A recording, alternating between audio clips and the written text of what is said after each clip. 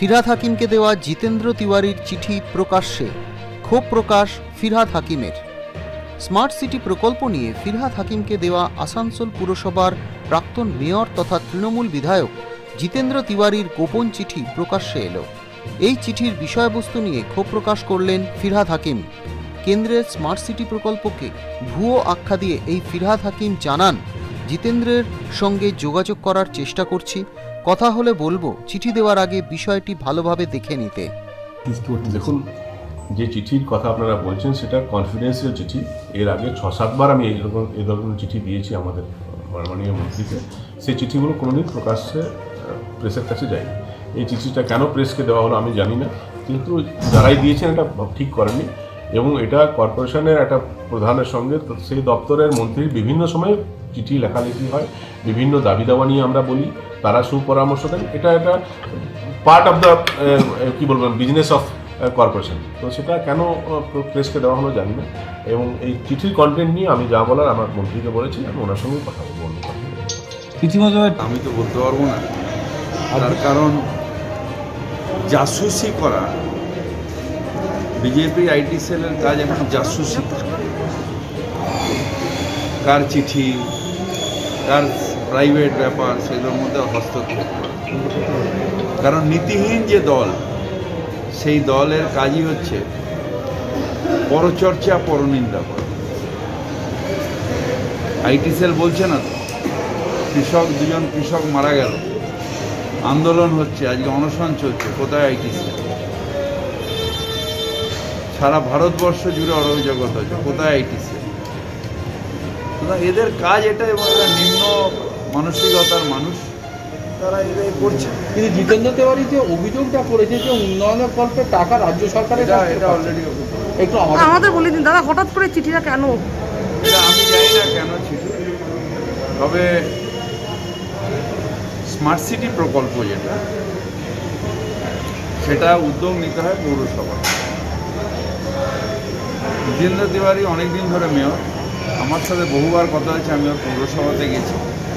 এই নিয়ে কোনোদিন আমার সাথে কথা বলেননি। দ্বিতীয়ত হচ্ছে প্রিন্সিপালি স্মার্ট সিটিতে আমরা উৎসাহ দিই এই কারণে। তার কারণ, যে স্মার্ট সিটি প্রকল্পের কথা বলছে দু হাজার কোটি পাঁচ হাজার কোটি, পঞ্চাশ লাখ কোটি, এগুলো সব ভুয়ো।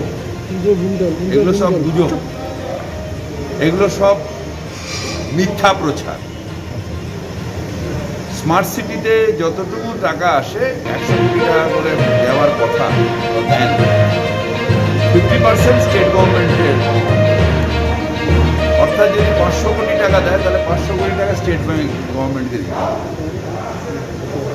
তাহলে যদি তিনটে সিটি ধরুন, শিলিগুড়ি,